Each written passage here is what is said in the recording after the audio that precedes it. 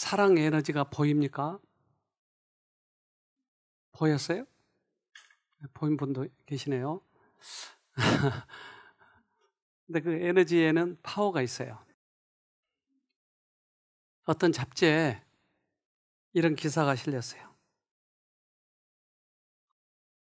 78살 된 하란 할머니인데 평생 담배를 끊기를 원했어요.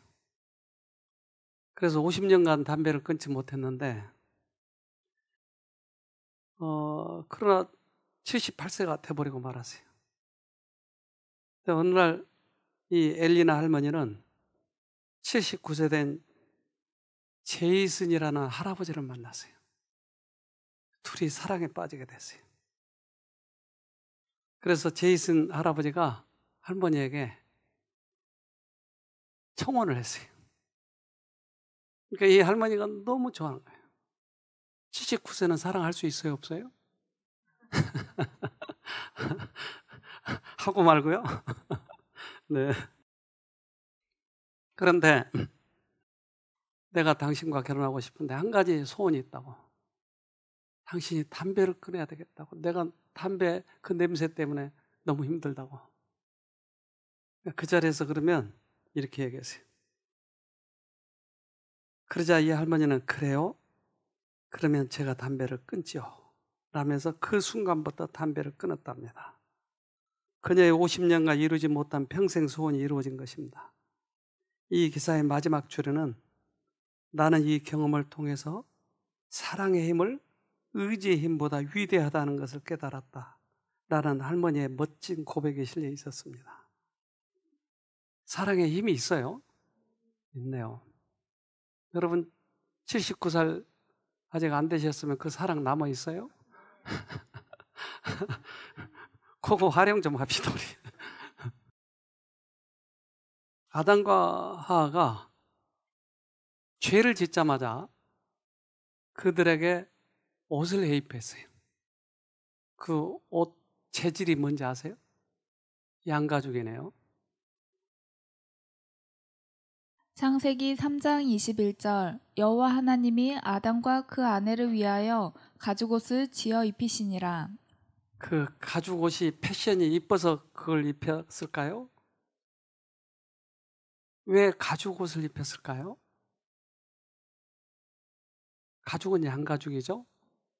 양은 예수님을 배상하죠. 그러니까 죄를 지은 사람들을 구원하기 위해서는 예수가 죽어야 된다고 하는 거예요. 예수가 우리 옷을 입혀야 된다는 거예요. 그런데 돈 없는 사람은 어떻게 해요? 양을 사서 잡아서 드려야 되는데. 돈 없는 사람은 비둘기라도 가져와라. 양을 못 가져왔으니까. 비둘기도 없는 사람은 밀가루라도 가져와라. 레위기 5장 11절 만일 그의 손이 산비둘기 두 마리나 집비둘기 두 마리에도 미치지 못하면 그의 범죄로 말미암아 고운 가루 10분의 1 에바를 예물로 가져다가 속죄 제물로 드리되 이는 속죄제인즉 그 위에 기름을 붓지 말며 유향을 놓지 말고 찢어지게 가난하니까 밀가루 요만큼만 가져와. 이거는 양의 표시야. 이거는 예수의 표시야. 너의 죄는 예수가 갚아줘. 이걸 잊어버리지 않도록. 그러니까 이스라엘 백성은 수천 년 동안 계속 양을 잡았어요, 양. 양은 예수였어요. 레위기 4장 32절로 33절 그가 만일 어린 양을 속죄 제물로 가져오려거든 흠없는 암컷을 끌어다가 그 속죄제의 희생의 머리에 안수하고 번제 희생을 잡는 곳에서 잡아 속죄를 삼을 것이요. 자, 속죄제라고 하는 건 속죄라고 하는 것은 내 죄를 속하는 거예요. 그러면 내 죄를 속하기 위해서는 뭔가 대가를 치러야 되는데 그 대가가 양이다 이 말이에요. 근데 그 양은 예수를 얘기하는 거예요. 그러니까 이것을 하루도 아니고 이틀도 아니고 몇 년 동안요? 4천 년 동안이나 양을 드렸어요. 그래서 구약의 4천 년, 신약의 2천 년, 요 한 가운데 십자가가 세워진 것이죠. 네, 십자가는 예수는 너의 모든 죄값을 치른다라고 하는 것이죠. 그리스도의 죽음은 인류에 대한 하나님의 크신 사랑을 입증한다. 그것이 우리의 구원의 보증이다. 그리스도인들에게서 십자가를 제거하는 것은 하늘에서 태양을 없애는 것과 같을 것이다. 십자가는 우리를 하나님께로 가까이 인도할 뿐더러 우리를 하나님과 화목하게 해준다. 우리가 죄를 진다고 하는 것은 원래는 우리가 죄를 짓지 않는 그런 깨끗한 사람으로 만들어 놨는데 죄라고 하는 것이 들어와서 우리를 죄를 짓게 만들었어요. 그러니까 우리는 선택력이 있지만 죄를 주는 이 사단은 우리보다 훨씬 더 큰 존재예요. 그러니까 우리가 이 죄에서 이제 벗어날 수가 없어요. 근데 예수라는 사단보다 더 큰 존재가 우리를 그 죄에서 건진다 이 말이에요. 우리는 스스로 죄값을 치를 수도 없어요. 그렇기 때문에 그 예수만이 이 죄의 모든 문제를 해결할 수 있어요. 우리들의 질병도 사실은 사단이 줬기 때문에 우리 힘으로 이것을 벗어날 수가 없어요. 그래서 암에서 벗어날 수가 없는 거예요. 병원에서 약간의 치료를 했다 할지라도 근원을 잘 바꿀 수가 없어요. 근데 우리들의 마음의 변화, 예수님의 특별한 은혜로 여기에서 벗어날 수가 있는 거예요. 그러니까 예수를 믿는 거예요. 그래서 암 환자는 죄를 지은 사람 모두는 누가 필요해요? 예수님이 필요해요. 그래서 예수님은 흑암의 빛으로 우리에게 표상을 하시는 거예요. 요한복음 1장 9절로 10절 참빛이 있었습니다. 그 빛은 세상에 와서 모든 사람을 비췄습니다. 참빛이 되신 말씀이 세상에 계셨습니다. 세상은 그분을 통하여 지음을 받았는데도 그분을 알지 못하였습니다. 빛이 있었는데 빛이 비쳤는데도 하도 오랫동안 어두워져 있었기 때문에 못 보는 거예요, 빛을. 지금도 어떤 사람은 제가 이 강의를 하면 못 알아듣겠어요.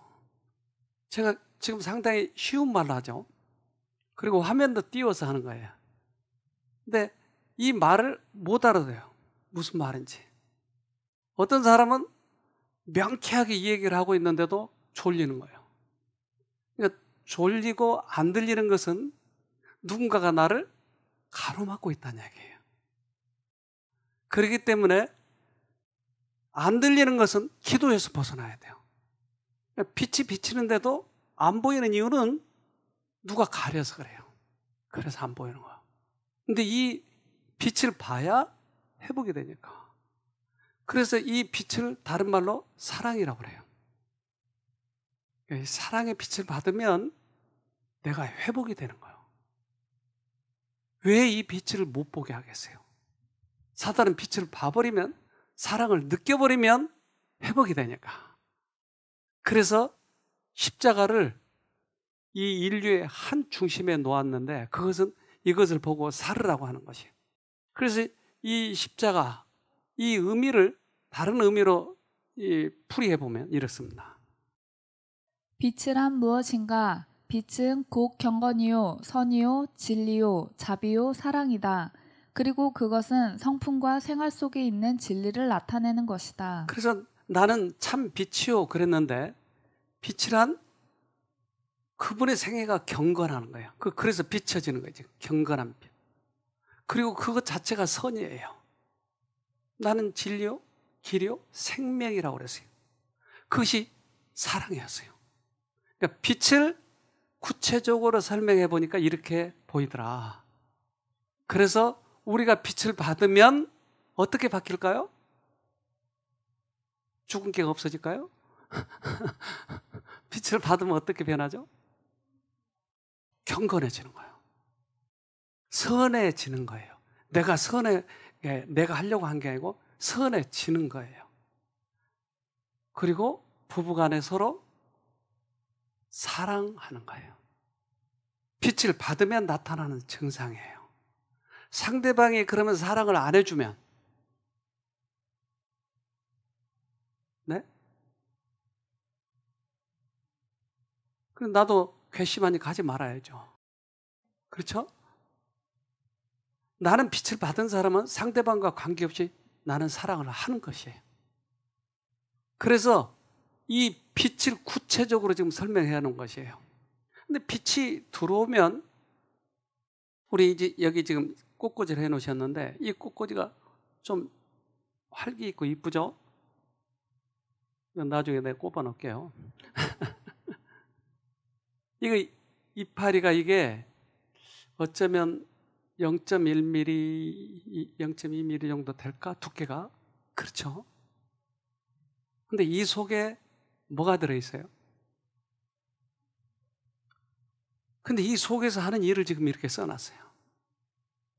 그래서 엽록체라고 하는 게 들어있는데 이게 햇볕과 물과 공기 중에 있는 이산화탄소가 이 안에서 공장에서 제품을 만들어내는 거예요.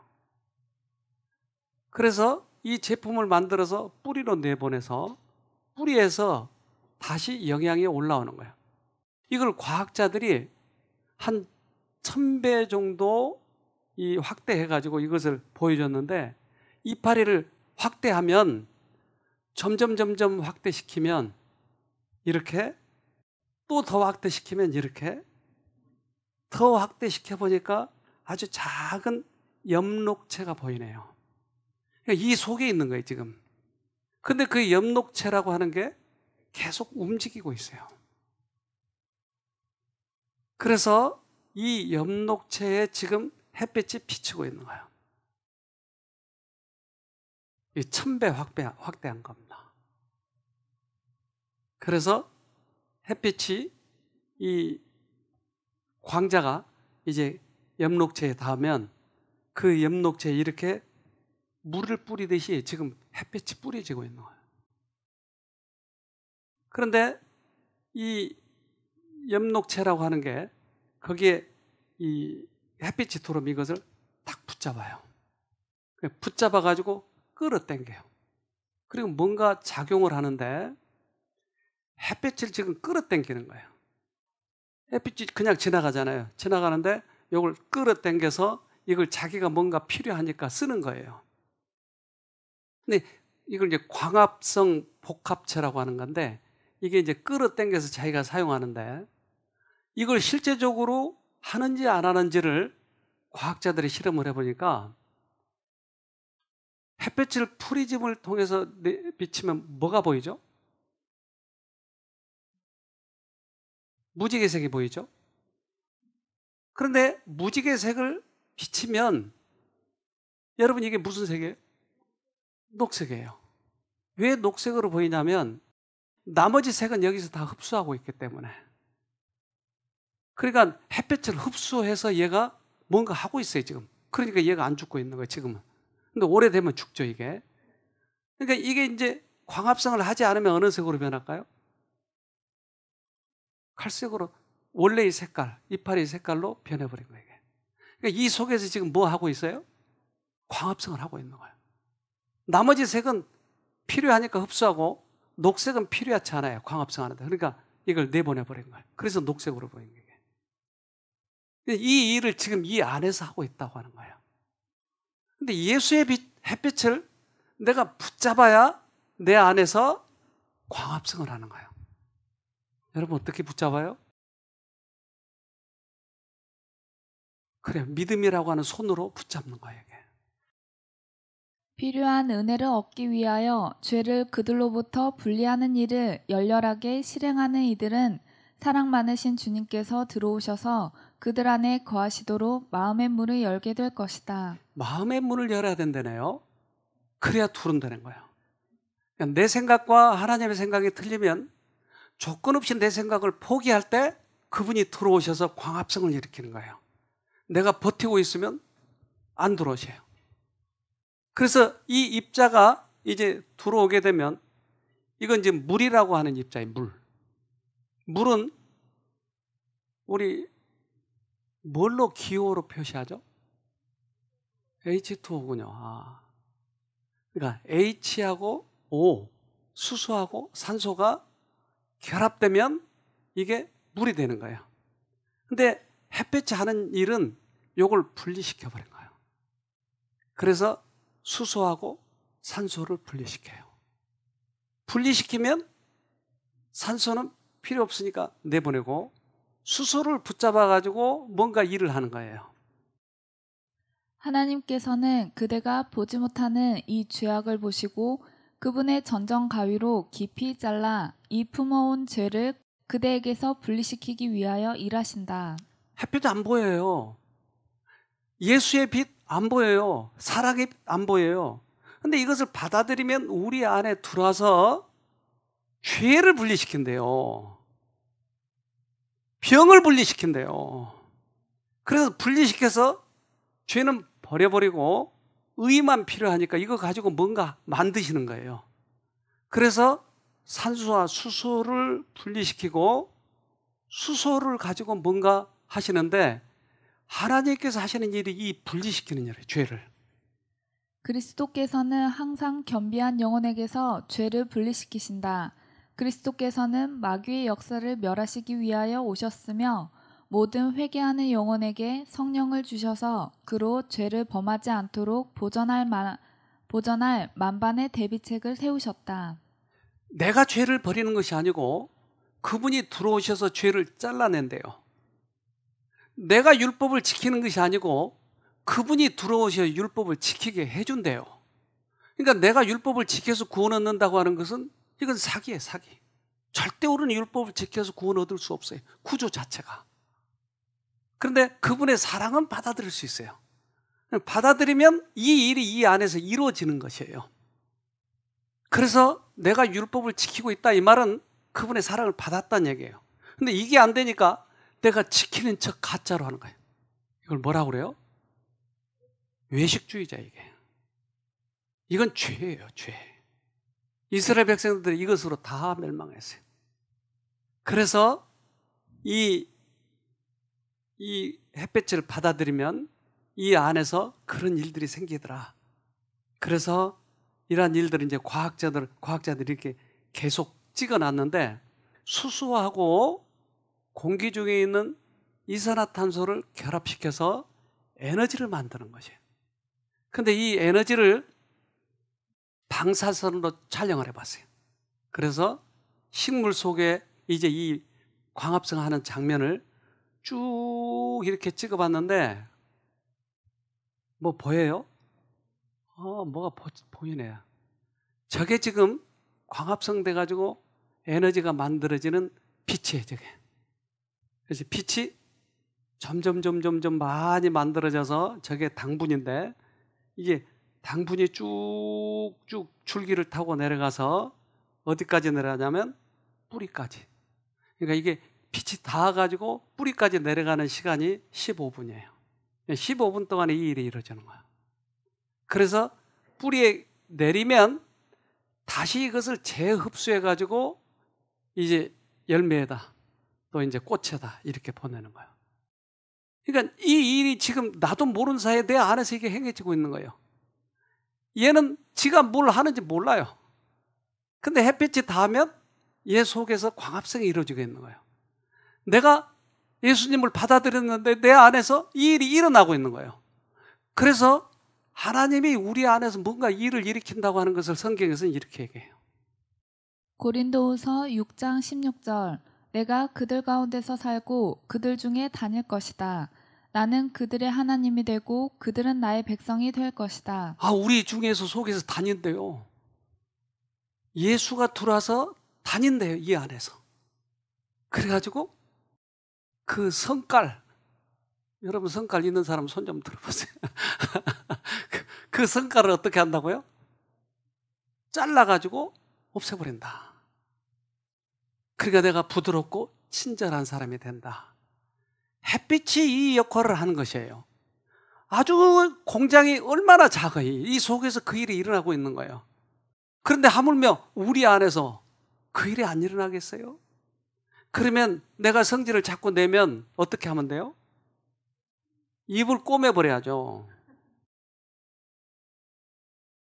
그분을 쳐다보면 그분이 이 일을 이룬다. 그래서 우리는 꽃만 봐도 이 꽃의 색깔을 내는 것이 누가 내느냐 하는 것이. 얘를 그늘에다 두면 색깔 안 나요. 그러니까 햇볕이 이 일을 하고 있는 거예요, 지금. 그리스도는 세상의 빛이시다. 그는 우리의 마음 속에서 빛난다. 우리의 마음 속에 있는 그분의 빛은 우리의 얼굴에서 빛을 낸다. 우리들은 그리스도의 아름다우심과 그 영광을 바라봄으로써 그분과 같은 모습으로 변화함을 입는다. 아, 그러니까 빛이니까 빛을 쳐다보면 광합성이 이루어진다. 빛을 쳐다보면 예수를 쳐다보면 예수가 우리 안에 품성의 변화를 이루어준다. 그래서 빛을 보는 거예요. 예수를 쳐다보는 거예요. 예수의 그 미남 얼굴을 쳐다보는 것이죠. 예수님의 생애를 쳐다보는 거예요. 예수님의 품성을 쳐다보는 거예요. 특별히 그분의 가장 예수가 오셔서 가장 우리 안에 가장 강력한 메시지 집약해 놓은 것이 십자가예요. 십자가의 의미를 쳐다보는 거예요. 이게 예수를 쳐다본다고 하는 의미예요. 그 빛을 쳐다보면 우리 안에 들어와서 우리를 바꿔놓는 것이에요. 하나님의 사랑의 햇빛이 어두운 영혼의 밀실을 비출 때 불안한 염려와 불만은 사라지고 흡족한 기쁨이 정신에 활력을 주고 육체의 건강과 힘을 줄 것이다. 네. 그래서 그리스도의 그리스도 교회의 핵심인데 이것을 받아서 하려고 하지 않고 우리는 우리를 자랑하기 위해서 우리의 욕심을 하기 위해서 우리는 그런 척 하는 것이에요. 그래서 헌금을 내 가지고 믿음이 있는 척 보여주려고 하고 이런 가식적인 거예요, 전부 다. 이제 정직하게 돌아가야 돼요. 우리가 어차피 이렇게 병들어서 또 병을 회복되기 위해서는 정직해야 돼요. 그렇지 않으면 이게 가식으로는 잘 안 되니까. 이 여러분 이런 동물 봤어요? 이게 민달팽이, 민달팽이. 근데 이 민달팽이가 하는 일이 기가 막혀요.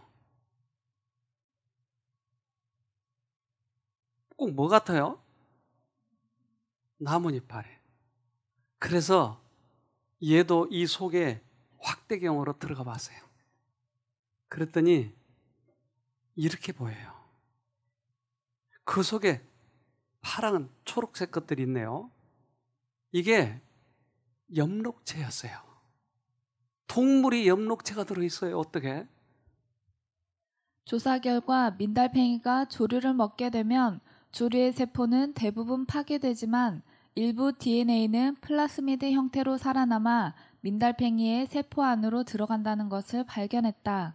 이 같은 현상에 대해 피어스 박사는 진핵 생물 간의 DNA 교환 현상으로 보인다고 정의하면서 부모에게 유전자를 물려받는 대신 다른 생물에서 전달받기 때문에 수평적 유전자 전이의 일종이라고 할 수 있다라고 설명했다. 과학자들이 이것을 연구해 보니까 그 식물 속에 들어있는 엽록체를 자기 세포 속에다 넣어버렸네요. 그러니까 자기 세포 속에서 무슨 역할을 해요? 식물 같은 광합성을 하는 거예요. 이게 기가 막힌 전이죠. 그러니까 대부분 동물들은 식물을 먹고 사는 거예요. 소도 식물을 먹고 살고 토끼도. 그러면 식물을 먹은 동물을 또 육식 동물을 먹어가지고 이게 이 그 생명을 유지하죠. 그런데 이 민달팽이는 자기가 직접 하겠다는 거예요. 광합성을.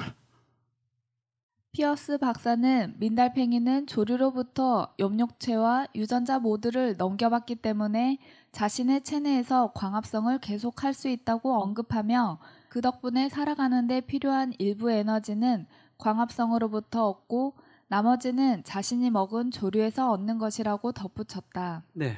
그래서 과학자들이 연구해 보니까 이제 실제적으로 그 엽록체 유전자를 자기 속에 받아가지고 이거 가지고 햇볕을 직접 받고 자기가 에너지를 만드는 거예요. 기가 막힌 아이디어 아니에요? 여러분 어떠세요? 여러분 민달팽이보다 나아요? 못해요? 그러면 이 흡수를 잘하는 엽록체를 우리가 받아들이면 우리도 이거 할 수 있겠네요. 이거 제일 잘하는 사람이 누군지 아세요? 예수예요. 예수는 하나님 거 받아서 계속 쓰는 거예요. 예수님이 이 땅에 오셔서 하나님의 능력만 가지고 사용했어요. 그러면 예수님 것을 내가 이 안에다 심어버리면 얼마나 잘 되겠어요. 그러니까 이거 받자고요. 에베소서 2장 8절 여러분은 하나님의 은혜 안에서 믿음으로 구원을 받았습니다. 여러분 스스로는 자신을 구원할 수 없습니다. 구원은 하나님의 선물입니다. 그러니까 우리에게 엽록체를 선물로 주시네요. 그러니까 이 엽록체를 받아가지고 이것을 활용하기만 하면 되는 거예요. 그런데 엽록체를 우리가 받아들이기 싫어하는 거예요, 자꾸. 그러니까 안 일어나는 거예요, 효과가. 로마서 12장 6절 우리는 하나님께서 우리에게 주신 은혜에 따라 저마다 다른 선물을 받았습니다. 예를 들어 그것이 예언의 선물이라면 믿음의 분량대로 그 선물을 사용하십시오. 아, 각 사람에게 주네요, 이게. 믿음을 주는데 이 믿음을 받아서 이것을 사용하라고 해요. 안 사용하니까 지금 늘지 않는 거예요. 믿음이 자라지 않는 거예요. 근데 이거 예수님의 제자 중에 제일 잘 받아들이는 구조가 그렇게 돼 있는 사람, 즉 엽록체를 자기 몸에다 박은 사람이 있나요? 누구요? 아, 요한이 그렇게 하네요. 요한은 구조 자체가 그렇게 돼 있었어요. 요한이 가장 잘 받아들이는 정신을 소유하고 있었다. 그는 다른 제자들보다 나이가 어렸으며 어린아이가 의지하는 신뢰 이상으로 예수께 그의 마음 문을 열었다. 예수한테 딱 달라붙어 버렸네요. 예수 거는 모두 다 그냥 다 받아들이는 거예요. 그러니까 요한은 가장 예수님을 많이 닮은 거예요. 그래서 그의 책을 보면 제일 많은 단어가 뭐예요? 사랑이야. 사랑하는 자들아, 우리가 서로 사랑하자. 사랑하는 것은 이것이니 하나님을 사랑하는 것이고 하나님이 우리를 사랑하는 것이다. 사랑, 사랑, 사랑. 이렇게 되면 우리들의 생애가 전적으로 예수님의 제자 요한처럼 바뀌는 것이에요. 그런데 이제 사랑할 때 여러분 그 남녀끼리 서로 잠을 자면 키스를 하면 나오는 호르몬 뭐가 있어요? 네? 어, 옥시토신. 애기 날 때도 옥시토신. 근데 이 옥시토신이 내게 나오면 어때요, 여러분? 나와 봤어요? 한 번도 안 나오신 분들이 다 여기 모이신 것 같아요. 옥시토신 나오면 어때요? 행복하고, 네. 모든 거 주고 싶고, 네. 이 옥시토신이 나오면 이런 일들이 일어나는데 이것을 옥시토신을 뽑아가지고 어쩌면 사랑할 때 뽑았는지도 몰라요. 근데 요즘에 만들 수 있다고 그러더라고요. 옥시토신. 옥시토신을 가지고 이걸 실험을 해봤어요. 사람들에게 주사를 해봤어요. 그랬더니 다이어트 효과가 있대요. 그러니까 왜 몸이 비대해져요? 스트레스예요. 대부분의 경우야. 근데 이 스트레스가 해소가 된다는 얘기예요. 옥시토신을 주사로 해봤더니 이명이 없어져요. 이 과학자들이 지금 하는 거예요.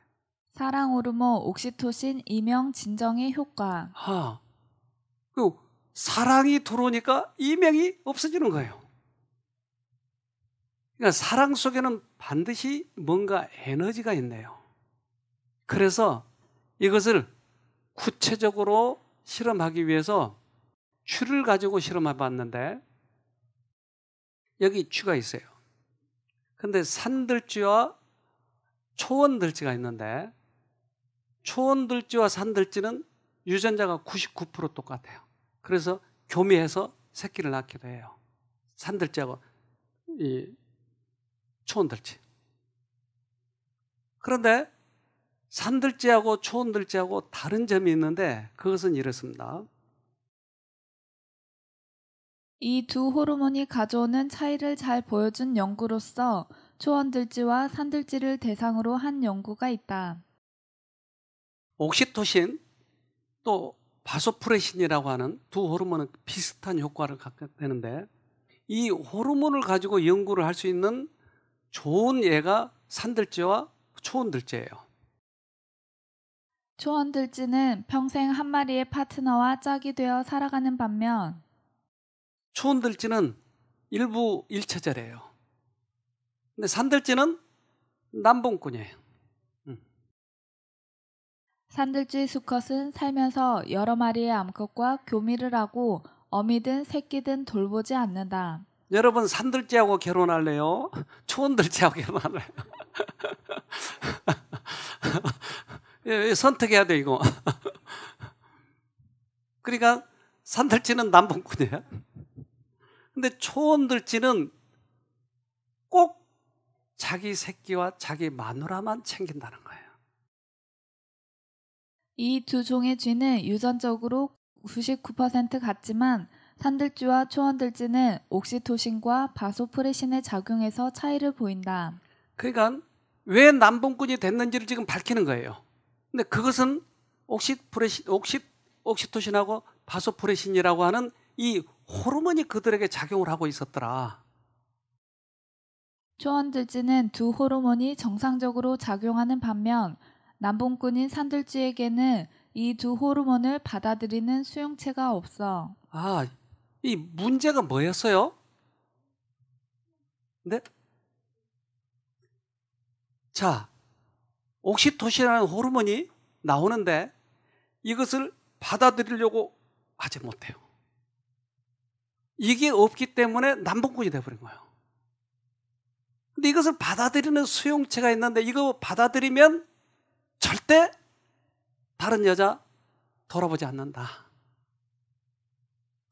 이거 차이였어요. 그러니까 수용체, 리스펙타 이것이 없기 때문에 못 받아들이니까 남봉꾼이에요. 믿음을 가지고 있지 않기 때문에 예수를 못 받아들이기 때문에 우리가 엉뚱한 짓들을 하고 다닌더라. 이것 차이. 호르몬이 분비되어도 작용하지 않는 것이다.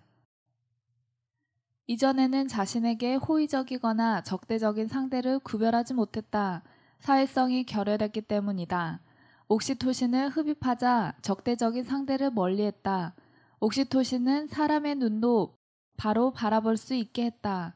자폐 환자는 사람의 눈을 똑바로 보지 못하고 턱이나 입을 바라본다. 시선도 자주 바꾼다. 그러니까 자폐 환자가 좋아져 버렸어요. 눈도 이거 잘 못 보던 분별을 못 하던 아이가 분별을 하기 시작한 거예요. 자폐 환자가 그러니까 사랑이라고 하는 호르몬은 어디든 들어가든 회복시켜 놓네요. 그것뿐만이 아니고 여러분 그 여기도 몇 번 그런 사람 왔었는데 거식증 그러니까 음식을 거부하는 거야. 내가 뚱뚱할까봐.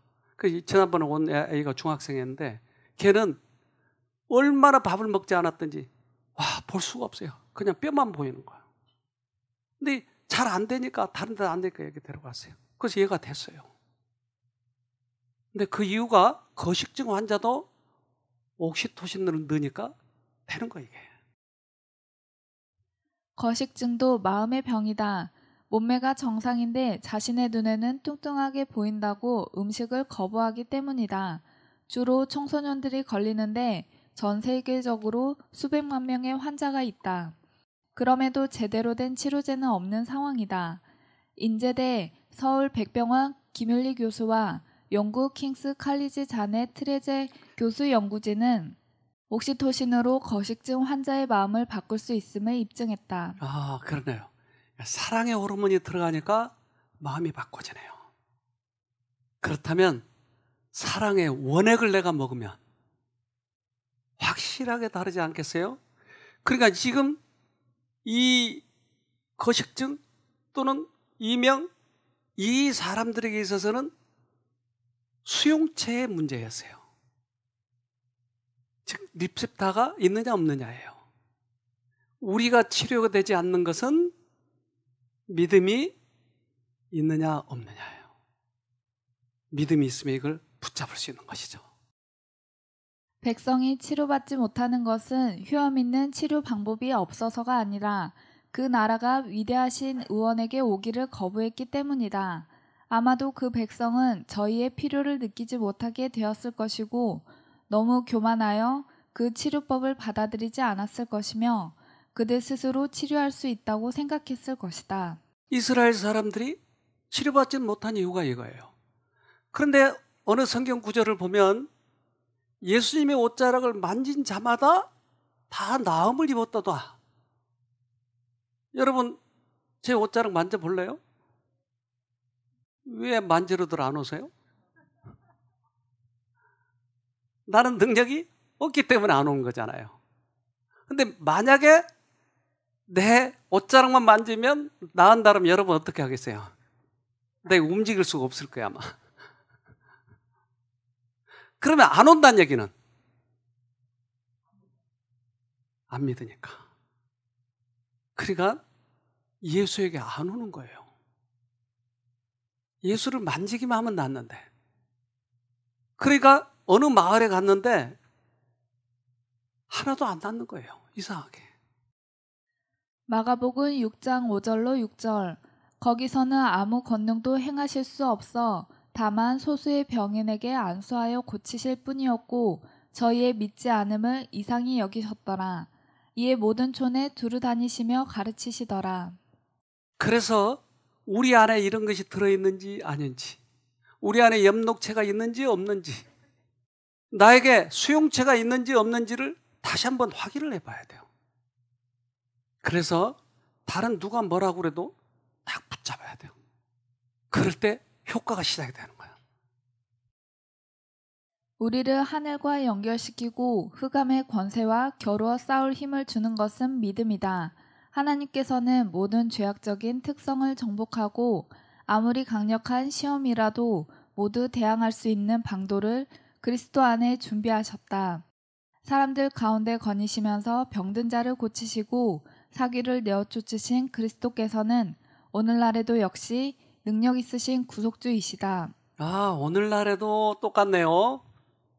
그 빛이 지금도 들어오면 똑같이 작용하시네요.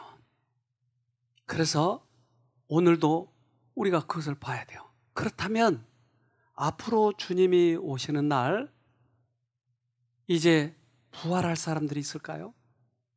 어떤 사람들이 부활할까요? 예수님은 어떻게 부활시킬까요? 당신의 빛이 힘이니까, 그게 생명이니까 일어나라. 그럼 일어나지 않겠어요? 지금 이거 수영체를 경험한 사람은 누워서 자는데 어, 누가 일어나라 그런 거예요. 그러면 일어나는 거예요. 너무 간단한 거 아니에요? 부활의 아침이에요. 그런데 한 번도 이 수용체를 경험하지 못한 사람은 일어나라고 하는지 더 잘하고 하는지 못 들어 못 들어. 그러니까 못 일어나는 거예요.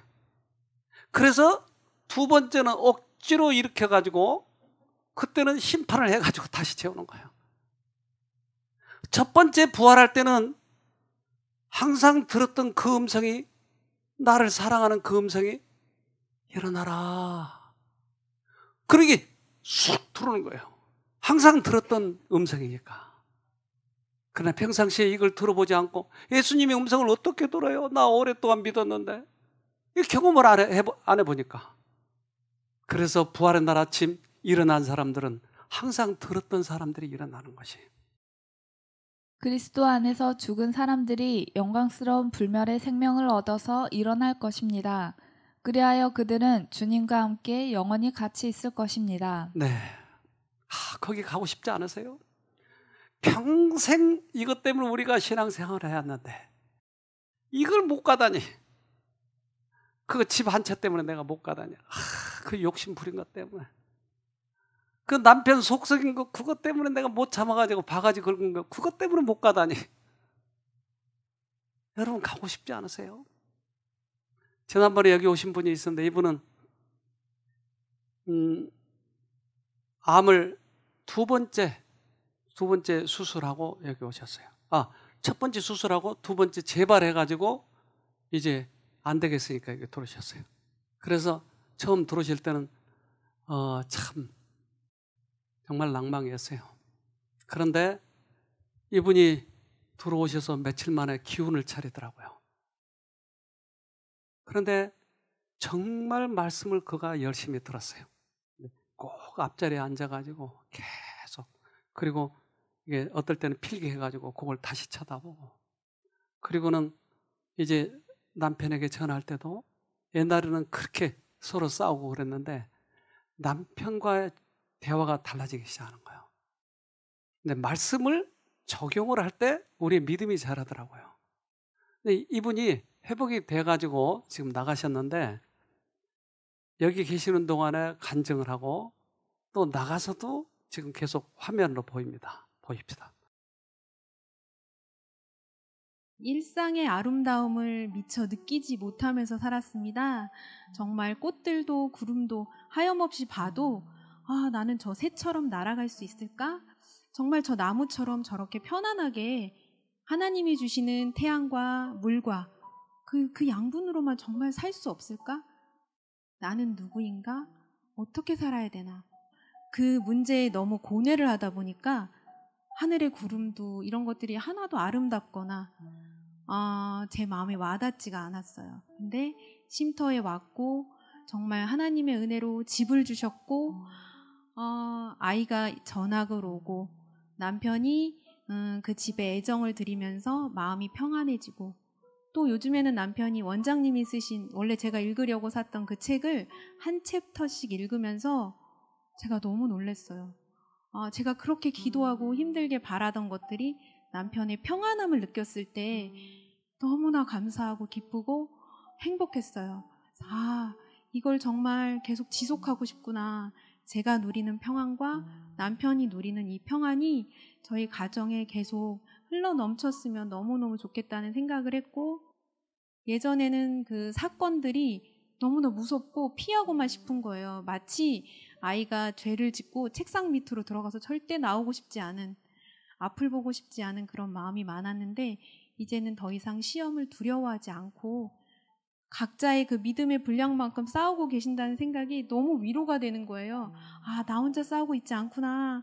모든 사람들이 다 영적 전쟁으로 힘들지만 그래도 예수님을 바라보시는 그 모습들이 저한테 너무 아름다웠고 또 요새는 꽃들도 예쁘고 나무도 예쁘고 아, 최근에 장미향을 맡았는데 그 향이 그렇게 좋을 수가 없는 거예요. 그 장미의 색깔이나 빛깔은 기억이 안 나는데 그 향은 저한테 너무너무 가슴 깊이 남아서 제가 지금도 그 향을 잊을 수가 없어요. 그래서 제가 지금 호흡을 하면서 아, 기도가 호흡이지. 예수님의 향기가 제 코로 들어오면 그 보혈로 내 몸에 죄가 씻겨지는 듯한 느낌이 막 드는 거예요. 아, 나 날마다 호흡하지. 날마다 예수님의 향기가 나한테 들어오지. 그 보혈이 나를 감싸고 나를 행복하게 해줄 수 있는 원동력이라는 거 알고 너무 감사하게 집으로 돌아갈 수 있을 것 같습니다. 감사합니다. 이분이 자기가 스스로 사진을 찍었어요. 근데 갈비만 있어요. 처음 들어오셨을 때. 근데 저렇게 건강해 보이잖아요. 저분을 어떻게 저렇게 바꿔놨을까요? 여기서 하는 게 아무것도 없었어요. 계속 예수님을 바라봤어요. 이것만 되면 다른 거예요. 그래서 이제 몇 개월 만에 집으로 돌아갔는데 그 남편이 최근에 화면에 나와서 얘기하는데 남편 얘기를 좀 들어볼까요? 저희 잘생긴 남편이고요. 여기는 이제 사춘기 시작된 장시우입니다. 13살입니다. 여보 한마디 해주세요. 안녕하세요. 아, 유정 씨. 안녕하세요. 네, 장우진이라고 그럽니다. 제가 그 전에 뭐 한 번 정도는 갔었는데 그 뒤로는 이제 코로나 뭐 때문에 방문을 못 했었는데 너무나 어, 잘 거기서 지내서 나올 때 다른 여성을 보내주셔가지고 어, 결혼을 네, 다- 다른 한 번 더 결혼한 것 같은 느낌을 주셔서 너무 감사드리고요. 예전에 저랑 살던 사람이 아닌 것 같더라고요. 어떻게 됐어요? 여자가 바뀌어 가지고 왔네요? 새 여자가 왔어요? 저 양반 나중에 중매비 많이 내야 돼요. 새 여자로 바꿔 가지고 왔다는 거예요. 확실한가요, 그러면? 자기 남편이 인정한 것은 확실해요. 옛날 여자가 아니래요. 새 여자래요. 그러니까 이, 이 쉼터에서 햇볕을 많이 보니까 예수를 많이 보니까 그를 바꿔놔 버렸어요. 그걸 옆에서 본 사람이 인정을 하는 거예요. 오늘 여러분에게 이제 차례입니다. 오늘 뭐 하실래요? 일광욕 많이 할래요? 오늘 여러분에게 디데이입니다. 꼭 승리하기를 바랍니다. 기도합시다. 하늘에 계신 아버지, 모든 천연계를 통해서 하나님이 어떠신 분인가를 말씀해 주셔서 감사합니다. 친히 말씀하시기를 내가 빛이라고 말씀하셨습니다. 당신이 생명이라고 말씀하셨습니다. 그렇지만 우리의 영적 구조가 그 빛을 잘 못 보고 있나 봅니다. 불쌍히 여겨주시고 믿음을 선물로 주신 하나님, 저희들에게 다시 한번 선물로 주셔서 염록체가 광합성을 하듯이 우리도 주님의 능력을 광합성할 수 있도록 도와주시옵소서. 그래서 이제 나머지 생애는 오직 주님만을 의지하면서 주님께서 말씀하신 대로 그렇게 따라가는 저희가 되도록 도와주시옵소서. 많은 사람들이 주님 바라보고 승리했지 않습니까? 그 능력이 저에게도 오셔서 꼭 승리하도록 도와주시옵소서. 그러기에 제가 낮아지길 원합니다. 우리의 마음을 비우길 원합니다. 그래서 온전히 주님 것만 받아서 이 땅에서도 승리하지만 하늘도 갈수 있는 저희가 되도록 도와주시옵소서. 예수님 이름으로 기도합니다. 아멘.